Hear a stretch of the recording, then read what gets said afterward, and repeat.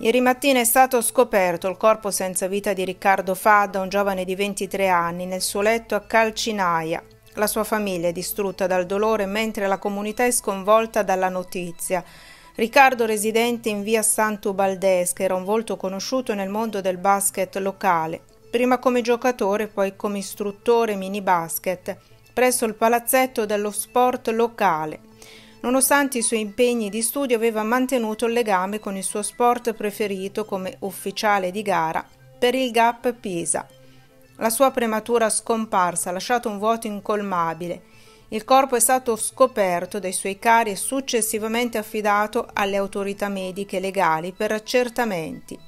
Le ipotesi sulla causa della morte spaziano dal malore allo shock anafilattico.